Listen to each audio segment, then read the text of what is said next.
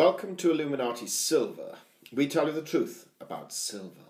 Today is Wednesday, the 2nd of March 2016, and we're briefly looking at the US rating agency Moody's recent comments on China.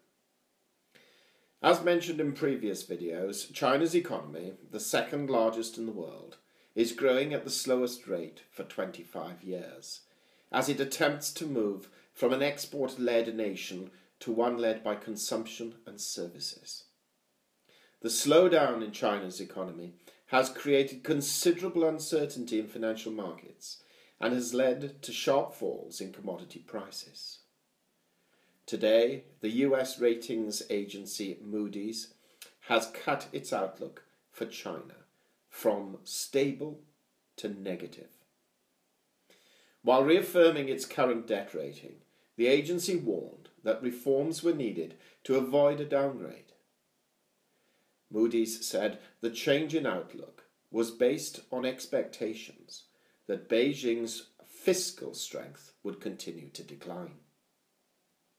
It stated in a note, quote, Without credible and efficient reforms, China's GDP growth would slow more markedly as a high debt burden dampens business investment and demographics turn increasingly unfavourable.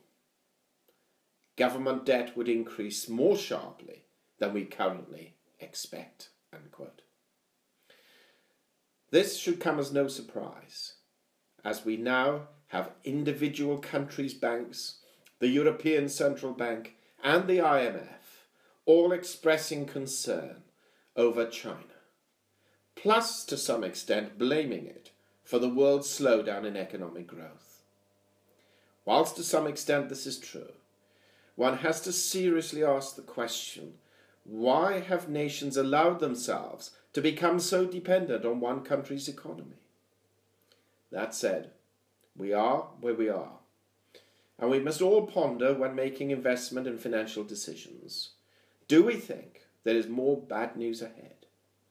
Or can China and the rest of the world's economies improve from here? We hope you have found this video interesting and informative. And if so, please give it a thumb up and share it on Twitter.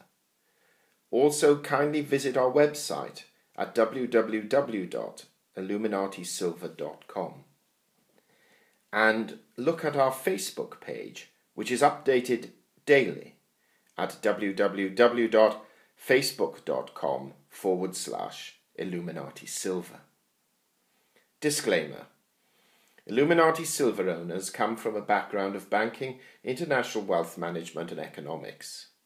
Having now retired from these worlds, we are not qualified to give investment advice. Therefore, this and other productions must not be deemed to be giving such advice and merely represent the personal views